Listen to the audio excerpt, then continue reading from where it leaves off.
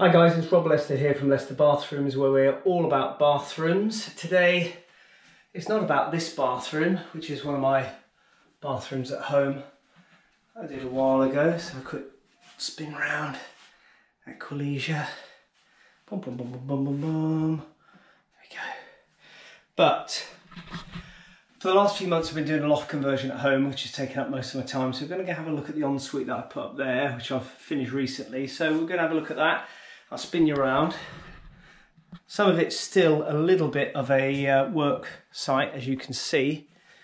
So this was a spare room. You can see where the footprint was of the spare room. And up there, so we've demolished all of that. The loft hatch used to be there. I won't do a full tour. I won't do a full tour of the loft because I might do that when we're all finished. We're not quite there yet, but I'll show you the ensuite. We've got up the stairs.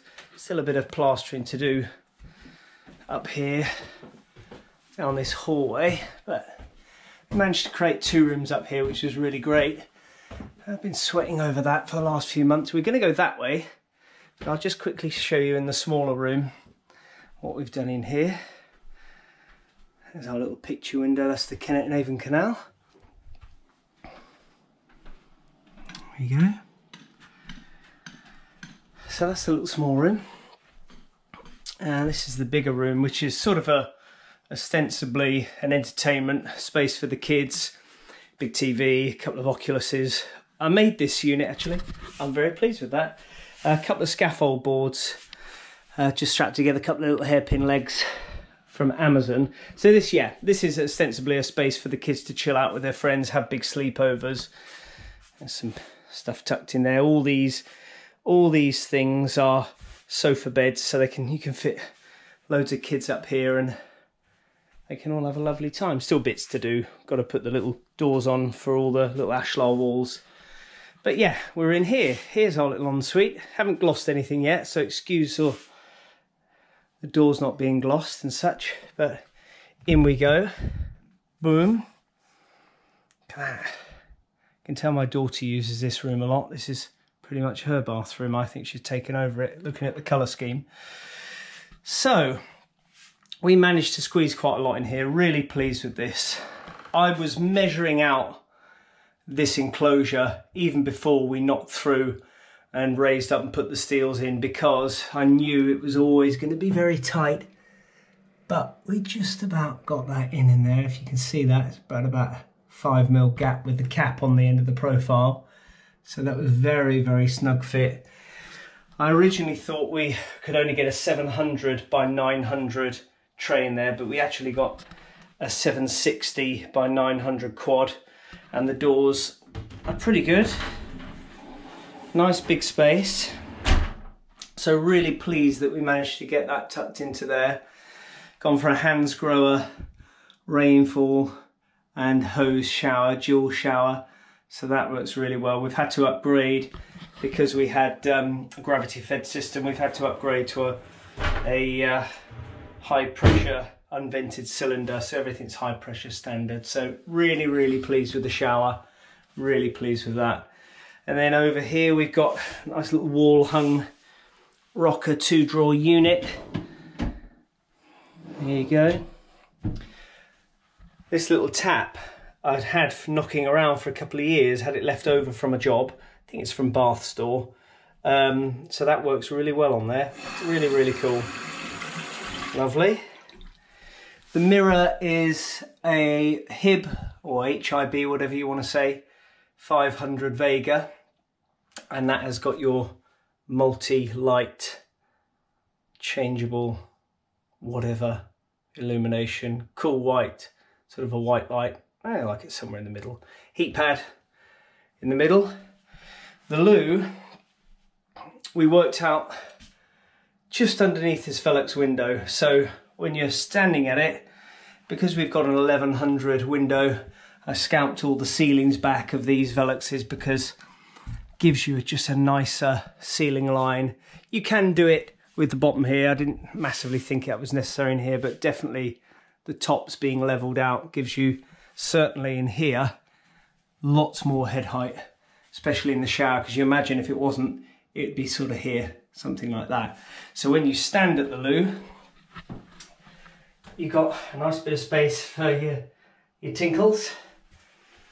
And then a bit of head height in there for your other one, if you can make that out. I actually went for a bit of a longer projection. I think this is a Roca Debba. All my stuff is from Grant & Stone. I get everything from Grant & Stone over here in Reading. So um, they're really good guys. They're really good to me. So they managed to find me, I think it's a 650. Normal toilet's around 600. This is just gives me a couple more inches if you're stood in this void to just, you're not having to go too far in. You can just come out a little bit. So that's great. And then this is a little 500 by, I think that's a 900. I can't really remember what I bought. Little tower. I was, a, you know, always a bit wary of having it too far in the corner, so I pulled it over a little bit. This unit um, just our little toiletries, little for guests and things like that. This is ostensibly going to be a guest suite as well as somewhere for the kids to chill out.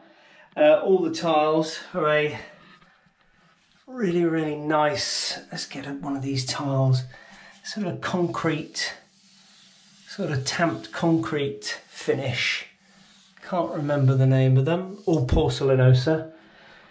And the floor is uh, click-lock mountain ash that uh, goes through the whole, the whole of this bedroom up here. You know, I quite like being a tiler. Um, it's a bit strange, but I don't actually like tiles in bathrooms. I think the grout joint gets all messy. I think having a vinyl or a Karndean is far nicer. Just wipe it over, especially with kids. You just wipe it over, off you go. So I like having that seamless straight through without a threshold in there. Yeah, so there we are. A few little accessories on the wall. Little towel ring, toilet roll holder, a little little brush down there mounted on the wall little corner basket to keep all the kids' knickknacks, stuff for the guests up there.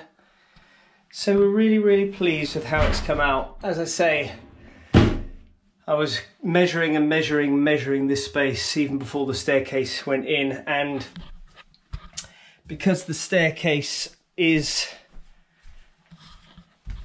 dictated by that bulkhead, which is the steel, we couldn't have it any further that way. And then obviously this has to be a square landing by building regs to match the width of the stairs. And then we, I think I used 3 per 2 CLS to make the stud wall. But on this side, I just used um, a 6mm HardieBacker because uh, these little these little measurements all helped the reality of that screen being able to go in or not. And six mil saved by not using sort of a 12 mil um, aqua board, you know, made all the difference. I think if I'd have used a 12 mil aqua board on this wall, and then by the time we membraned everything, because we membrane all our showers, um, it probably wouldn't have gone in. So little details like that, just trying to think ahead, makes all the difference. We've got just a couple of LEDs in here, IP rated. Let's whack that on so you can see and um, extractor obviously because we're creating a new um, a new bathroom from scratch. It's building regulations to have a have an extractor fan in there. Let's turn that off. Tick. So there we go. A little bit dictated to by the girls about the colour scheme but I don't mind that. I just do the work. I don't choose all the fancy stuff. So yeah, really pleased with it. And as I say, I'll probably do a final little video when we're finished up here, when all the loft is completed. We're, we're pretty much nearly out of it now and I might do a walkthrough of everything that we've done and everything I've put in. So yeah, hope you enjoyed that and we'll catch you on the next one. Like and subscribe if you can. Don't worry about it too much. I don't really care that much, but We'll catch you on the next one. Cheers, guys. Bye.